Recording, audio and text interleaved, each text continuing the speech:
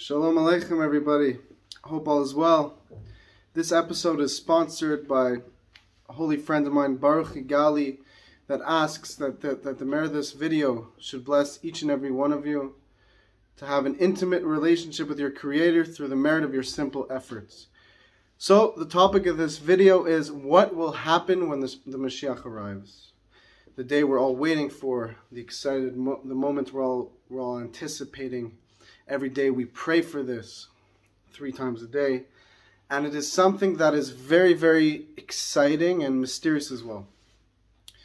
So, what's going to happen when the Mashiach arrives? Well, we have to understand that the way, the exact way it's going to unfold, the feeling that we're going to feel when this happens, is something that's that's a surprise, something that's going to surprise us.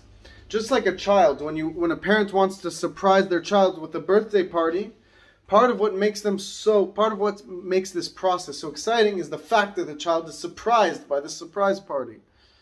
You know, when you give somebody a gift, a birthday present, you see the, the present is wrapped in a package. You know you're getting a gift, but the exact details of it are a surprise, are mysterious. That is what actually makes it so exciting. However, while, while it will be a surprise the way the Mashiach's arrival unfolds, there are some things that actually need to happen. That there are specific things we do know will happen. And how do we know this? Because they're prophesied in the Tanakh. They're Nevuah. It's a Nevuah which means a prophecy. So, what exactly will happen? Well, for example, there are different details, but the Mashiach will arrive. The Mashiach has to be a descendant of King David from the house of Mel- uh, David Melech, a descendant direct on his father's side. He has to bring the world to tshuva. He has to bring the Jewish people back to their master, back to Hashem. And We'll get to what these details are, but there are certain requirements that need to happen in order to prove that this person is the Mashiach and to prove that we're in the days of Mashiach. And these are things that we do know from the Tanakh. Another thing we know is that there will be a tremendous pleasure experienced by all of the living beings when the Mashiach arrives. Each and every person alive in the days of Mashiach will experience a tremendous joy, a tremendous pleasure. And we know that actually when Mashiach arrives, that there's going to be laughter. Everyone's going to start to laugh. A laugh that's never been experienced before. There's also going to be, while there's going to be a few details, is two general um, blessings that we're going to experience. One, there's going to be a tremendous pleasure, tremendous joy, tremendous good. And on the other hand, there's going to be an end to all pain and suffering.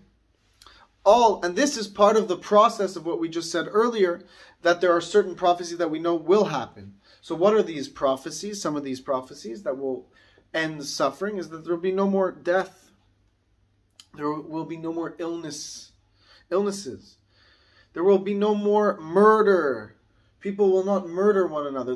There will, be no more war as we say in the, the song, the Chabad song, there will be no more war. There will be no more war. And this is something that will also prove that Mashiach's here, is that there will be no more wars. And in the book of Isaiah, we learn that all of the nations will turn their swords into plowshares. All of their money that we see in the world today, that nations spend trillions of dollars on, on military equipment, they're going to turn that military equipment into farming equipment because let me tell you something, my friends, there will be no more need for all of these weapons because there will be no more war. There will also be no more no more pain, no more poverty, no more hunger. All of these things. So there's like two angles we're coming at out at it from. Hashem's going to remove all the negativity, all the darkness, and He's going to bring in added light. So these are like simultaneous blessings we're going to experience from our Master, from Hashem. A person in this world, there, a person has, there's like good blessings that we can experience and pain that we could, God forbid, a person could experience. So God is going to remove the darkness and He's going to bring in the light, which is something that's exciting to say the least from all angles. Another thing is that we will we will all experience something tremendous, and this is another aspect to what we just spoke about. First of all, we have to realize that this this prophecy, this is the whole purpose of why God created the world. The whole it says um, Neutz The the whole purpose of the beginning is for the end. Right, the Mashiach coming is the end of this era, the end of the world as we know it in the beginning of the new era. But from the get go, from the moment God created the world, his whole purpose is to bring the Mashiach. Because that is when, as we'll get to soon, that is when God will reveal himself to the world, which was his ultimate desire from the beginning, is to experience, is to reveal himself to his creators, to his creations. Because God wanted to share himself with, with us. So he created us and allows us and is setting up the process for us to be ready to experience his revelation. So this is all we have to realize is Hashem desires this to happen in this modern world. The Torah, which was given many years ago, before there was technology, before there was such modern developments, God desired it to be in this modern world. This world where there's a lot of darkness, there's a lot of materialism, there's a lot of distractions. This is the world that God is choosing to bring the Mashiach into. Because we know we're in the last generation, my friends. There's another deeper aspect to this as well. This is that the Mashiach is going to be our teacher, our master. That is a very interesting part because, well, all these tremendous blessings will happen. There'll be end to wars, there'll be end to suffering, there'll be a lot of pleasure, a lot of abundance and wealth. Not wealth in the sense where businesses and all these things. It's going to be much greater than that. There's going to be no hunger, no poverty at all. Because even if you say the economy is flourishing in this the way we know it still doesn't mean much because there's always been poor people in this world, as even in the most in the most prosperous of times. But when Mashiach arrives, that will all change.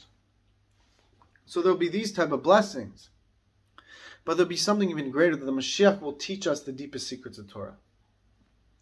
The Mashiach is the head of the Jewish people. He's the one who cares the most out of any other person for his for his people. Therefore, he will know exactly what piece of Torah, what portion of Torah to teach each person that will trigger them to become a, a tzaddik of themselves. Because we know that each person has the Mashiach within them. Each person has Moshe Rabbeinu, Moses within them. Each person has God within them. The Mashiach will be the one who will be able to reveal that to each and every person according to their level. We know actually that when Mashiach arrives, the even like the children will be greater prophets than Moses. Because Moses was the greatest prophet to ever live, and he even he was not able to see, so to speak, Hashem's face. Hashem had to show him his hindsight. What does this mean? This doesn't mean literally as we think of a face and a hindsight. In fact, it means something much deeper. But by way of analogy, because the Torah was given to man, Hashem uses physical analogies to explain these tremendous divine ideas. But in, in short, Moses wasn't able to see the innermost revelation of God. He was able to see a ray of this, the outer part of this revelation, a little glimpse of this revelation. When Mashiach arrives, we will all experience this. And this is what we have to realize that Mashiach will teach us the deepest secrets of Torah, the sweetest aspects of Torah, a new dimension of Torah that's been hidden and is waiting to be revealed. And this will also be facilitated with the third temple, of course. We have to mention this. The third temple will be built. The base Beis Hamikdash Shlishi. And the third temple isn't just a building, but rather it is the divine connection into the world, the divine channel into the world that the, when the Beis Hamikdash will be standing, the whole world will, will, will experience coming outwards of the temple a divine revelation, like a an outer, just like so to speak, an analogy like an ocean that waves go and they channel outward and the further the wave goes the smaller it becomes so too the closer you are to the, the temple the greater the divine revelation and from there it spreads forth and, and trickles into the world So this, the, the, the Mashiach will prepare us all and, and, and make us ready to experience a revelation of God. That God will reveal himself to the world as prophesied in the Tanakh that says that your master will no longer hide himself from you. God will no longer hide himself from us. As we know when we learn in Chassidus and Kabbalah that in order for God to create the world, he had to hide himself. There was the world would not be able to handle God's revelation at, in the beginning. Because God is so powerful, his light is so intense the, the world was not a proper vessel to grasp that. It would be completely blown out of existence, to say the least. But since Hashem gave us the Torah and gave us mitzvahs, it makes the world already, it changes the world into a proper reciprocal, a receptacle, in, able, in order to receive the divine light and not to be blown out of existence, but to enjoy it. So that is what we have to realize. This is what's waiting for us. And now we have to realize that this is coming at any moment now. This could happen at any moment. We are in the last generation. And the Rebbe explained something very interesting that the way to prepare the world for Mashiach and to speed up the process of Mashiach's arrival is by learning about Mashiach. So right now we're learning about all these tremendous, exciting ideas. And this brings us closer. This thinking about the coming Mashiach, this living it and realizing that it's not just an inspiring thing that we speak about that's nice and cute and exciting, but rather it is a reality that is promised to us that is in the process of being revealed. And this is something intense, something that should, when thought about, should, should give birth to a love and fear of Hashem. It should cause us love for Hashem and excitement, but it should also cause us some fear as well to realize that this is serious. It's not a joke. And of course, when we have fear of Hashem, it should also lead to a confidence, a bitachon and emuna, that we have the power to succeed and to do tshuva and to do the right thing, and we will succeed. And then, of course, a later development of this will be followed by the resurrection of the dead, Mesim, where all the people who have passed away will be returned into this world. And then we will enter afterwards an even greater revelation of God. And then it will lead into the Yom Shekulo Shabbos, the year 6000 where will be an even greater development of the days of Mashiach. So we know that there's three general processes of the days of Mashiach, and and even before that, Mashiach will arrive, and the world may not know that this person is Mashiach yet. So there will be like an introduction stage to the days of Mashiach, and then the Mashiach will be revealed, and the base of Hamikdash will be built, and then all the Jewish people will return to the land of Israel, and there will be tremendous revelations of God and, and, and then there will be the resurrection of the dead, which, of course, to say the least, will be a tremendous revelation. And then it will lead into the final stage, which will be the Yom Shekulo Shabbos, the, the year 6000, the everlasting Sabbath, where there's not, you know, we know that this will take place, but the way it will take place, the, what it will look like, is not by any means in our in our ability to explain through words just yet. But we will see. We know certain details, but of course, the way Hashem makes things happen, a lot of times, we know what will happen. We know general ideas of how it will happen. But what it will look like, what it will feel like, is not really in our ability to grasp just yet. But the more we learn about the days of Mashiach, the more we tap into it, and we actually taste of the days of Mashiach because we know that it's a mitzvah to eat the food of Shabbos before Shabbos, to taste the food of Shabbos. And, and the Rebbe explains that when you learn Chassidus, you are tasting of the Torah of Mashiach because Chassidus is the Torah of Mashiach, Kabbalah and Chassidus, which are the inner portions of Torah, which teach you about God.